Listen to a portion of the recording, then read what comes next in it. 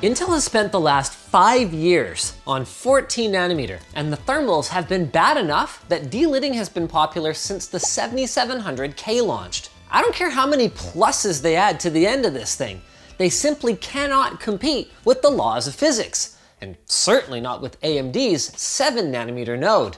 And now, they've gone and packed 10 cores into this thing? Well, gee, I sure hope our fire insurance is up to date.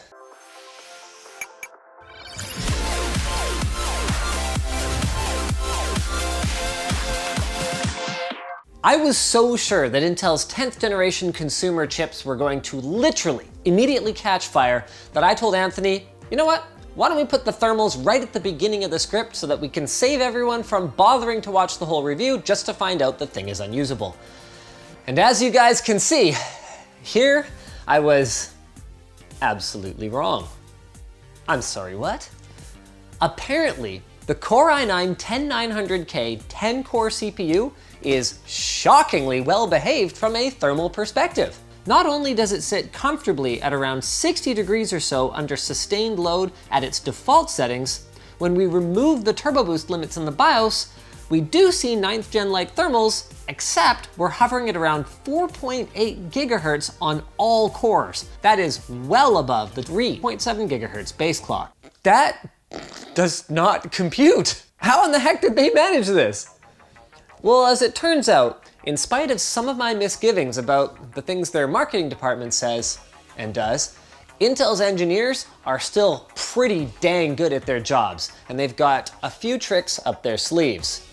Instead of just using soldered thermal interface material on this new generation of chips, they have also shrunk the thickness of the CPU die itself, significantly reducing the amount of material that's standing between its heat generating transistors and the heat spreader on top. To compensate, the heat spreader was made thicker to provide more thermal mass as well, and you might not think this tiny difference is a big deal, but it clearly is. Now power consumption is of course still very high as we might expect, with stock package power measuring at around 125 watts and our limits removed power peaking at over 220 watts full turbo. Hooey! Suffice to say, daily driver overclocking this thing is going to be a challenge to say the least. And you're gonna want beefy cooling and a beefy motherboard even for stock Turbo Unleashed operation. Speaking of which, we've actually got a new socket. Hooray. LGA 1200 is here. Boo. Although, at least it's for a potentially good reason this time around. Gigabyte's Aorus team hinted that the new power budget requirements of these 10th gen chips would have made many last generation boards out of spec anyway. And they confirmed that their motherboards are capable of PCIe Gen 4, even if these 10th gen chips aren't. So, the bad news is if you want to go 10th gen, you need a new motherboard. The good news is that there will be an upgrade path once 11th gen comes around, with PCIe Gen 4 rumored to be a headline feature. By the way, if you want to see us build one of these rigs, stay tuned for Friday's live stream. You won't want to miss it. Get subscribed. There's more good news for the platform too. Every Core i3 through i9 is getting hyperthreading, which, I'm really jazzed about this, can now be toggled on and off on a per core basis. Why would you want to do that, I hear you ask? Well, the new platform also reports the two best cores in your system.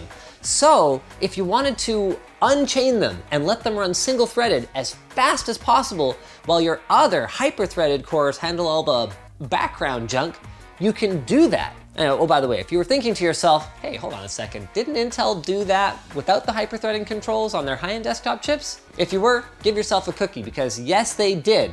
The consumer desktop is getting not one, but two new turboing mechanisms. Turbo Boost Max 3.0, along with what they're calling Thermal Velocity Boost, Intel's opportunistic boost algorithm that means that in theory, these CPUs should be turboing up quite aggressively under bursty loads. It's time to test out these new CPUs. Make sure you got an extra pair of underwear on standby, lttstore.com, because for today's shootout, things are getting real. We've got the Core i9-10900K along with the Core i5 cousin that people are actually gonna buy, and an assortment of previous gen and team red equivalents. And Unsurprisingly, at these clock speeds, Intel has still got gaming on lockdown for now. The higher base clock on the 6-core Core i5-10600K pushes it out ahead of the 10th gen Core i9 in more lightly threaded games like Shadow of the Tomb Raider and Red Dead Redemption 2, which may make it a contender for mid-range enthusiasts in its own right.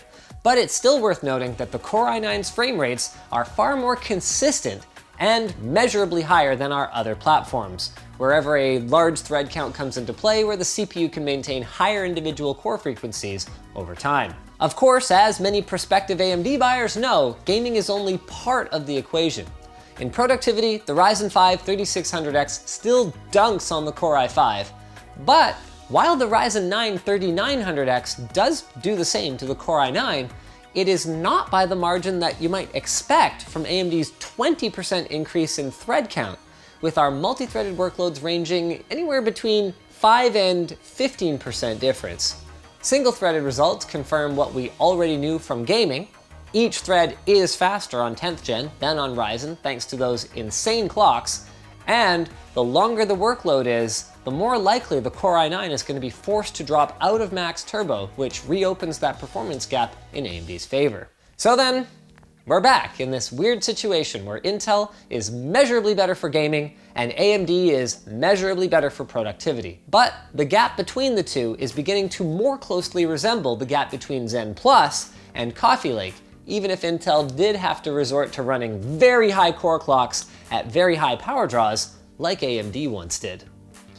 And as much as I was concerned that the increase in power draw would result in consumer systems overheating left and right, it turns out that the thermals are somehow even better controlled than last generation. Pricing is of course geared to come in at a slight premium over AMD's components, which hints at the more premium brand image that Intel hopes to maintain in comparison to Team Red. You guys might not think it works, and you might hate that it works, but it does work. Intel isn't playing around here, and while our 10th gen Comet Lake CPUs feel like a stopgap solution rather than something transformative like AMD's Zen 2 was, competition does seem to be alive and well within the CPU market. It gives me goosebumps just thinking about it. Thanks for watching guys. If you're done, which you are, maybe go check out our recent review of AMD's new 3rd gen Ryzen 3s for more head-to-head -head red versus blue goodness.